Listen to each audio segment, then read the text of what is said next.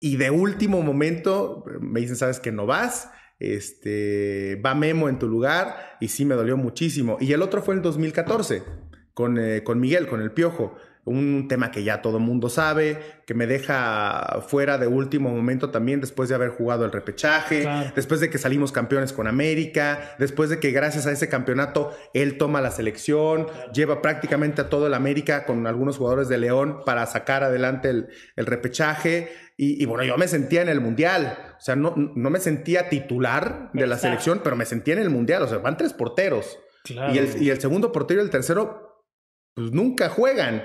O sea, en la historia del fútbol mexicano, no recuerdo yo que algún portero suplente haya jugado algún partido.